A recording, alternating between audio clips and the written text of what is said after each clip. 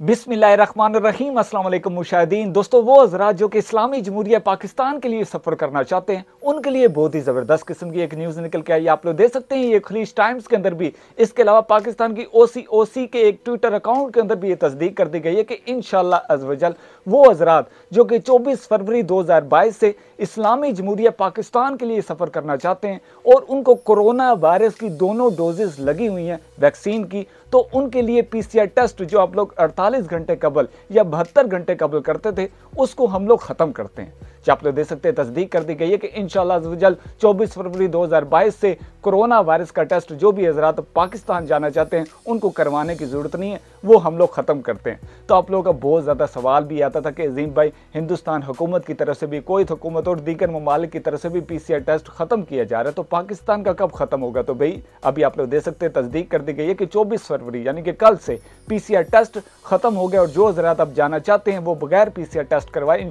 वजल जा सकते हैं, ये भी तस्दीक कर दी गई है। तो ये मसले से बहुत ज़्यादा खुशाइन बात है। तो अल्लाह ताला से दुआ करते हैं कि अल्लाह ताला इस वबा को, इस वायरस को पूरी दुनिया से ख़त्म कर दे, ताकि लोगों के मामलाते ज़िंदगियाँ, लोगों की परेशानियाँ वो हाल हो सकें। और लोग जैसे पहले जीते, हँसते, बसते थे, उसी तरह जिए, हंसे, बसें।